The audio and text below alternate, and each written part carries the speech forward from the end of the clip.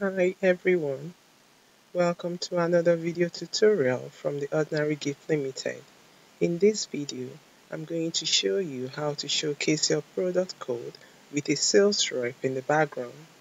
If you find this video interesting at the end of this tutorial, please click the like button and don't forget to leave your comment below. Also subscribe to our channel for more updates on our video tutorials. Let's get started. First of all, we'll go to rectangle tool. We draw a rectangle with a fill color of our choice.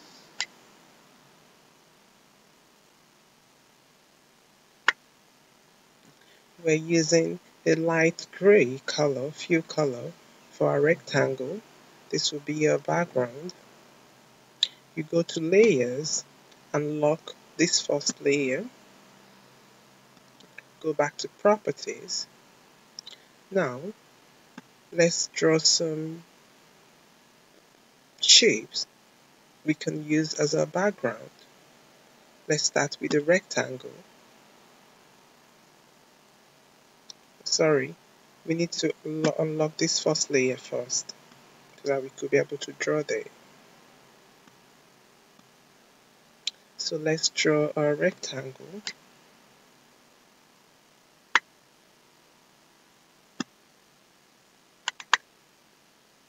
So let's use our ellipse tool as well to draw an ellipse. I prefer to change these colors to pure white. So let's change it to white color. Go to properties and go to fill color and select white.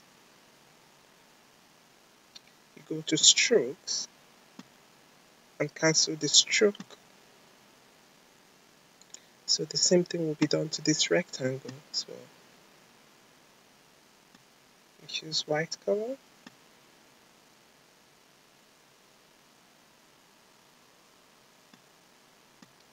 remove the, we cancel the stroke.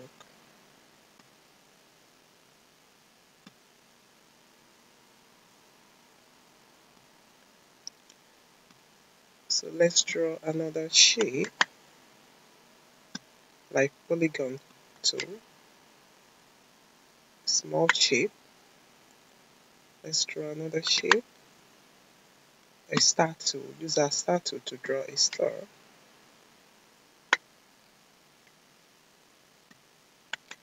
All these shapes are going to serve as a background.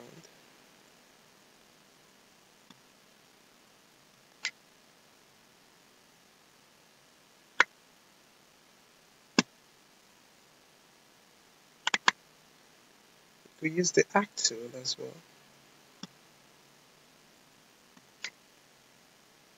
in this action we're going to add stroke to it.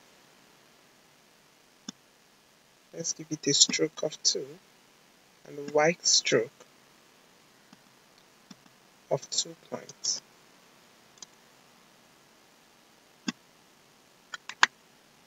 Let's use the spiral tool as well.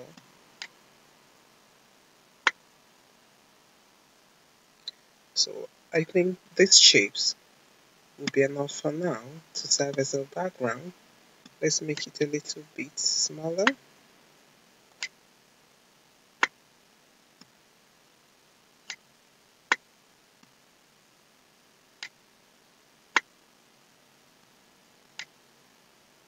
So let's select all the shapes and group them together.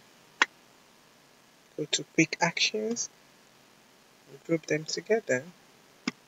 Now that we've group them together, we can now copy and paste them to form our background.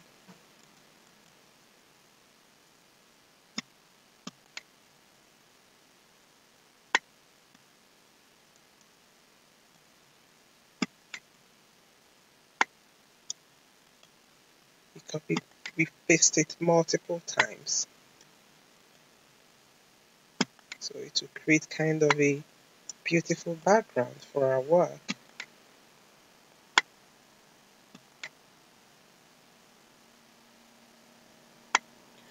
Now that we've created a nice background, we have to use our rectangle tool again to draw a rectangle on top of this.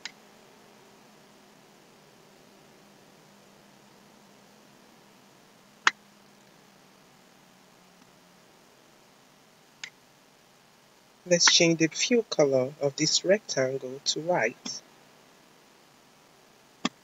To make it look nice. You see everything is covered, but we have to go to opacity now. And reduce the opacity so that we could be able to see the, the, the, the background inside. We, we, you can make your own opacity like I, I like using uh, 50 50% opacity. You see how nice it is now so we can now lock this layer. So let's use a, um, perhaps any of the product code you have. Let's use, in this case, we're going to use a 4 character, 4 number, number 4. So we use our type tool.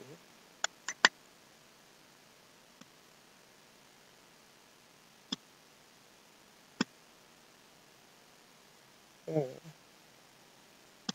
think we don't need to lock this background. I think we don't need to lock that. Alright, that's fine. That's okay. So let's use our type tool. So um, it's already at 100 pt. We decided to increase it to 100 so that it will be big enough for what we want to do for the for us to be able to apply our 3D effect. So could type number 4 here.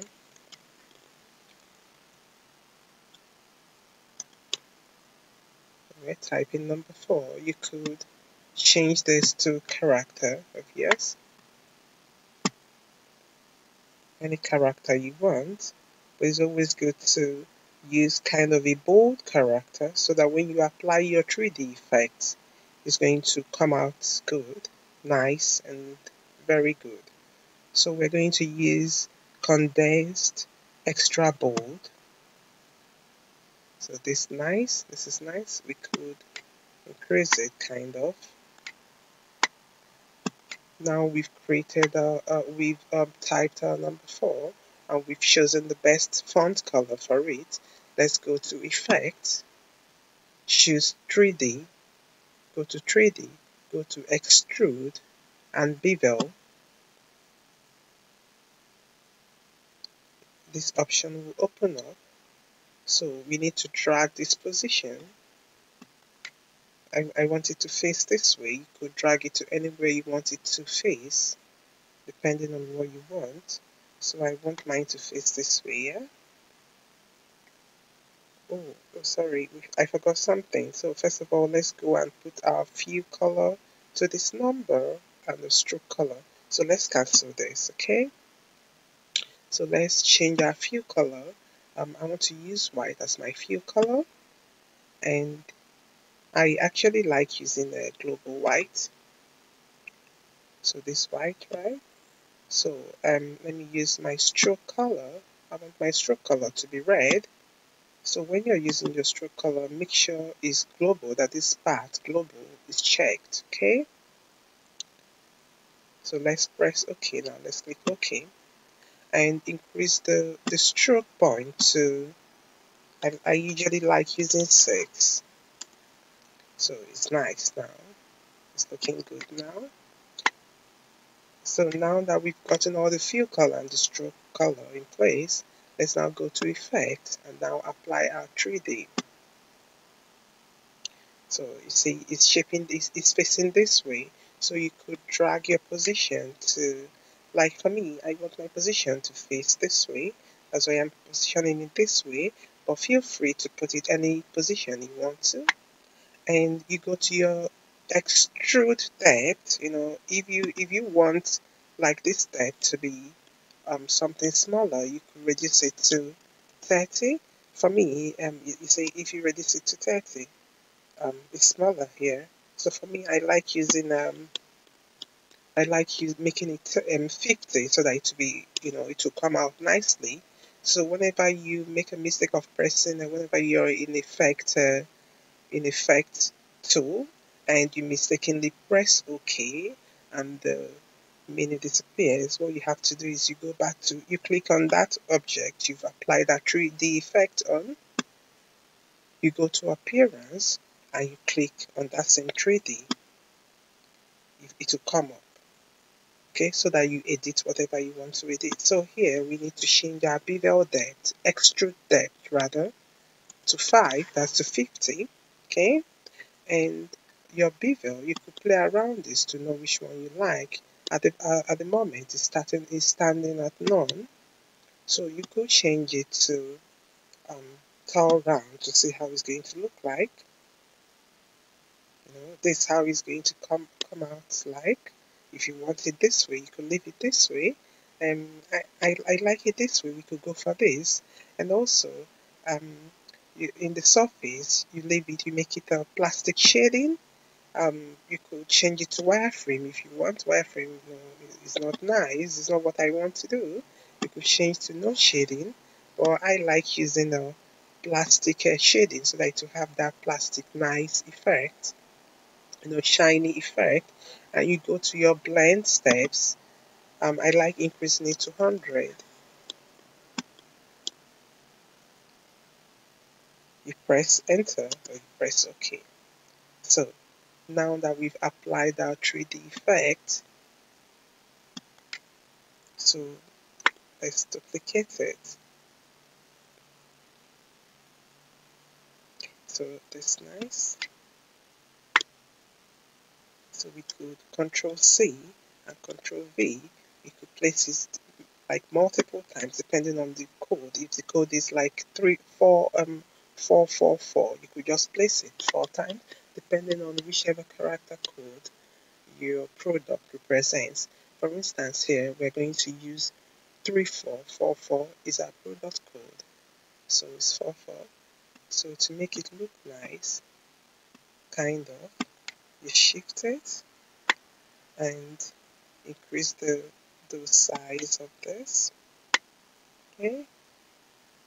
You could make it a kind of a, you know, now the first one will be small. Now let's shift it a bit. So there will be space here in the middle because that's where we're going to put our product uh, representative, our sales rep there. We also do another control V because is the product code number is uh, triple four. So you put it this way. Let's shift this, okay? yeah let's increase this you know just make it make it look uh, more beautiful than just making all of them equal just like that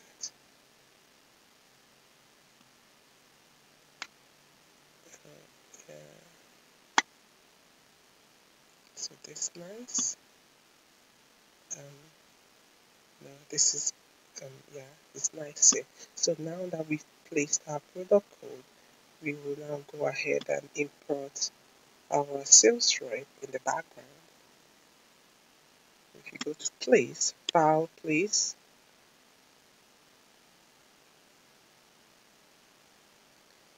I'm going to use this beautiful image in the background.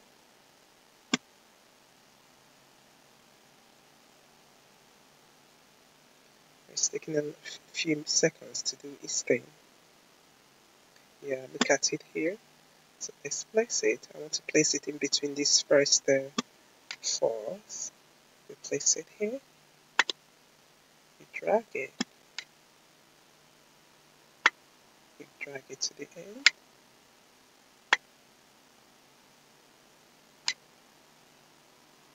See it's coming out. Beautiful you place it to the back you go to arrange place the image to the back. So you, you place it um, bring percent backward.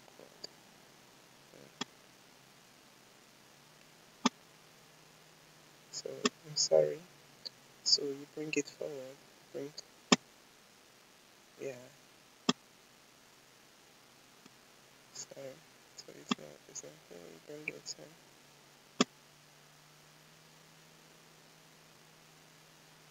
Sorry, it's taking time here. So we go to the layer to make sure we're se selecting the right image. See, see here? So just make sure that this blue color is highlighted and is showing. So we now go back to our properties and go back to arrange and bring it to the front. So it's in front now. So let's send it more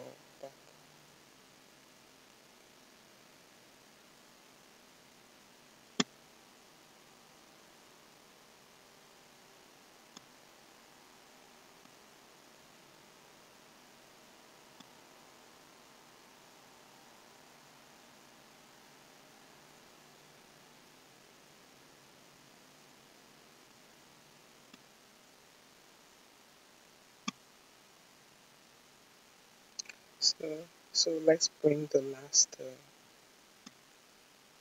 code to the front. So you go to arrange, you go to transform, sorry, arrange, bring to the front. So that's our code nicely placed. The sales stripe in the background. That's us. So you could now highlight everything and group them together. That's our code. Thank you. For, thank you for watching. Please subscribe to our channel and click the like button and leave your comment below we'll get back to you. Thank you very much.